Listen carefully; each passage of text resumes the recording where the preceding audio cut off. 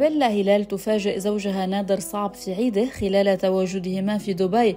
قدمت له هدية ثمينة وما حصل مؤثر.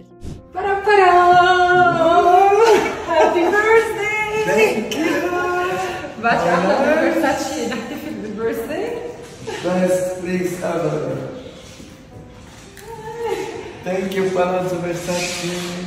How nice. The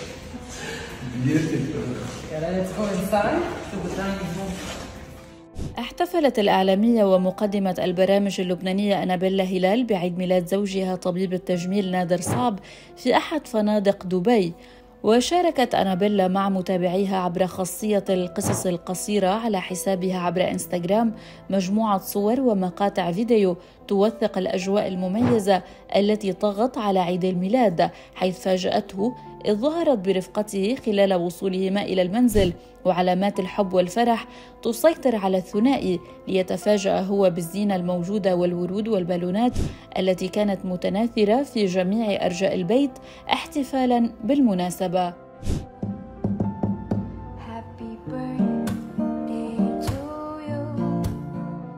وظهرت أنابيلا بإطلالة أنيقة ومميزة حيث ارتدت فستانا باللون الأبيض واعتمدت تسريحة شعر بسيطة ومكياجا ناعما زاد من نعومة إطلالتها التي لفتت من خلالها الأنظار.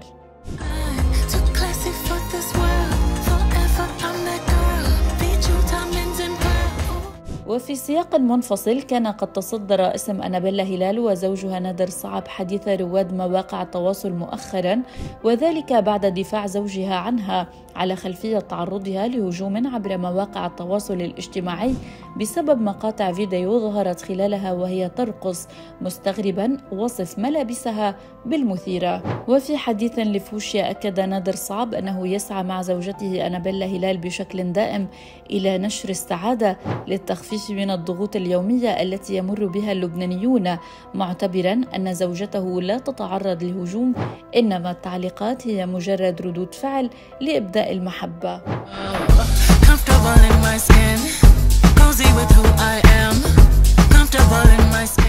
أما عن ملابسها فقال نادر صعب أنا ألتقط لها الصور بتلك الملابس. نحن منفتحون ويهمنا التعبير دوما عن الحضارة التي ننتمي إليها.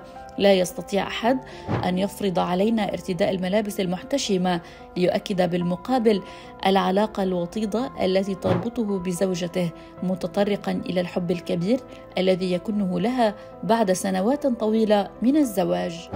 نحن ناس منفتحين.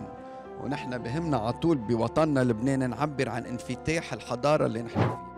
من جهتها أعربت أنابيلا هلال عن سعادتها بمقاطع الفيديو التي قامت بنشرها على مواقع التواصل مشيرة إلى أنها تسعى دائما إلى مشاركة سعادتها مع الجمهور وإظهار العفوية التي تتمتع بها كالمعتادة وهذا ما يجعل مقاطع الفيديو تلك تتصدر الترند.